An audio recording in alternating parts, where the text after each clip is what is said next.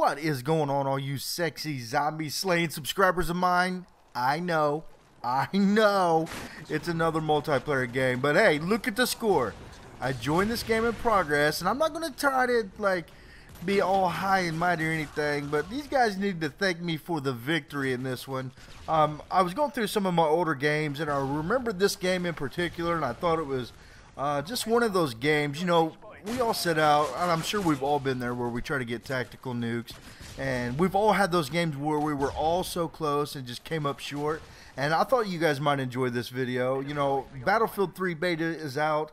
Uh, we're getting close to Modern Warfare 3. I am really starting to get the multiplayer spirit again, and I definitely want to play it. It's just unfortunate Black Ops 6 such big wang that I don't want to play that. So I figured I'd go through some of my older gameplays, get some of the good ones. This was just a quick one. I felt bad yesterday. I didn't really get many videos out. I posted the Dead Island Part 26, and that was it. You know, my YouTube's been all ghetto right now. And, uh, you know, it's not publishing videos right and stuff like that. So I figured I would just give the day off, you know, post that Dead Island for those guys, and then just come back in full strong, full going out today, so that's what I'm going to do.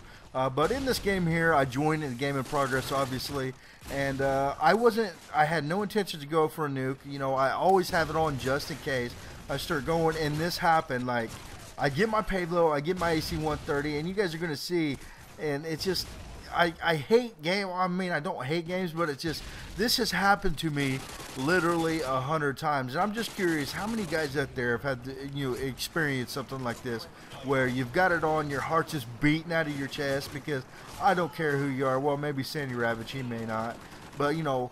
Dude, every time I get close to a nuke, dude, my heart starts pumping, especially earlier on, man. That was so cool when Modern Warfare 2 came out. I remember my first nuke ever on Wasteland. I was so flipping excited for it. I've dropped about a thousand of them now, and that's not even blowing it out of proportion. I've dropped so many nukes now, it's just retarded. Uh, but how many of you guys have been in a game like this? Leave in the comments what you guys think. But you can see here, I'm in the AC-130.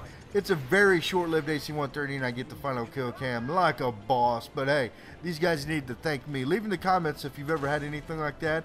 And uh, please leave in the comments as well if you are excited for Modern Warfare 3 and all that good stuff. But as usual, please remember to rate and subscribe. Yodi, signing out.